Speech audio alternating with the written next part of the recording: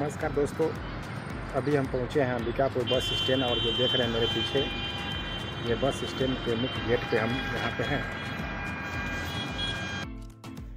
रेणुकूट, बनारस, गढ़वा, रेहला डाल्टनगंज की गाड़ी इतने बजे रवाना होगी यात्रीगण अपनी अपनी बसों में सवार हो जाएँ।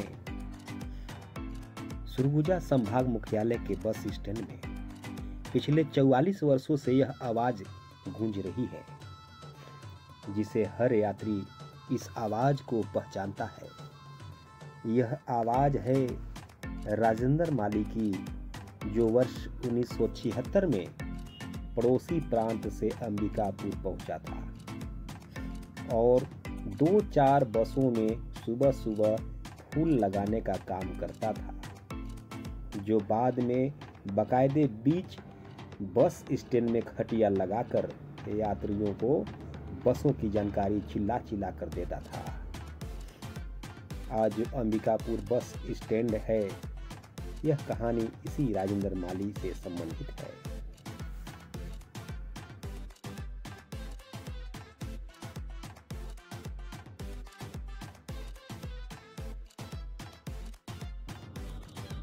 राजेंद्र माली की आवाज़ हर किसी को आकर्षित करती है।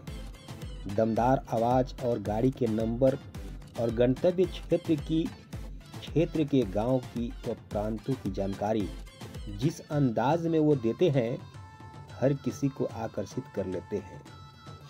राजेंद्र माली की आर्थिक स्थिति इतने वर्षों में नहीं सुधरी, पर संभाग मुख्यालय के बस स्टैंड की पहचान के साथ तीसरी आँख ज़रूर बन चुकी है।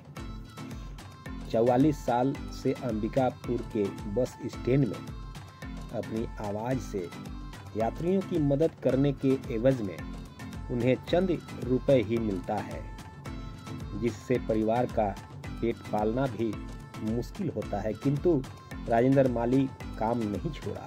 नगर का बस स्टैंड बदल गया, जगह बदल गई, नया माहौल बन गया, पर राजेंद्र माली ने बस स्टैंड को नहीं छोड़ा है।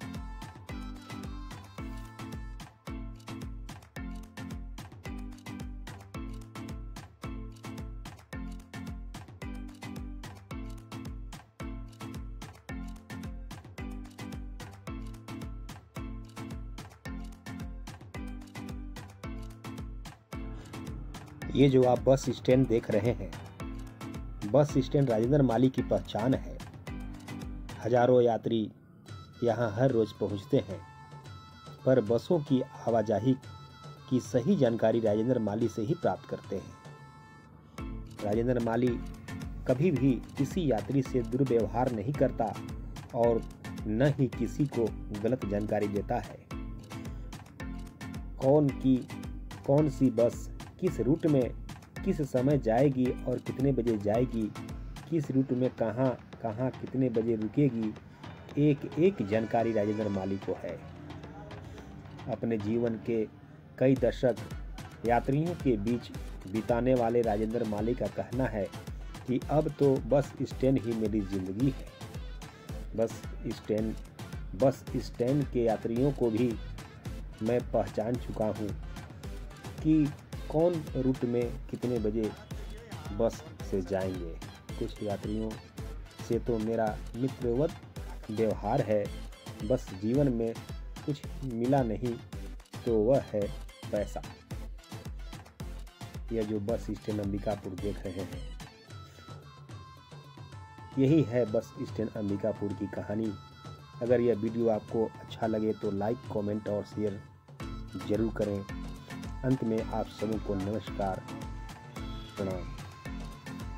और अंत में जब तक यह बस स्टैंड रहेगा, राजेंद्र माली, अमर रहेगा। नमस्कार, प्रणाम, जोहार।